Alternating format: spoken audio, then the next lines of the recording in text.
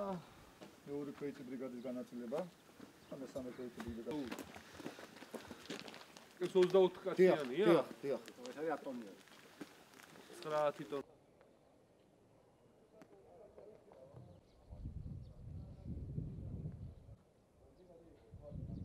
არა, ეს საშუალო. ეს საშუალო. პატარა არის ეს ბატონო. ო, პატარა. Wi-Fi წერეთ, ძმა.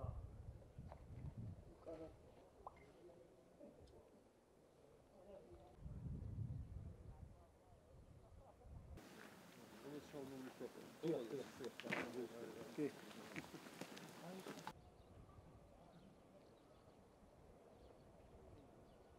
როგორც მოგეხსენებათ 2020 წელს საქართველოს თავდაცვის სამინისტრომ დაანონსა და დადო ხელშეკრულება სპეციალური ტექნიკის შეძენაზე. ჩვენ მივიღეთ მანის და ივეკოს უმაღლესი ხარისხის სპეციალური ტექნიკა. ჩვენი ბიჭები დღეიდან გადაადგილდებიან კომფორტულად და უსაფრთხოდ.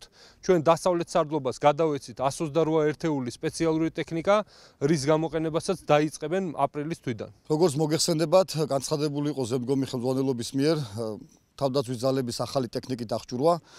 დასავლეთ სარდლობას დღეს გადაეცა 128 ერთეული სატვირთო ავტომობილები, რომელიც გაზდის, რა თქმა უნდა, ჩვენი ქვეითი ქვედანაყოფების მობილურობის საშუალებებს.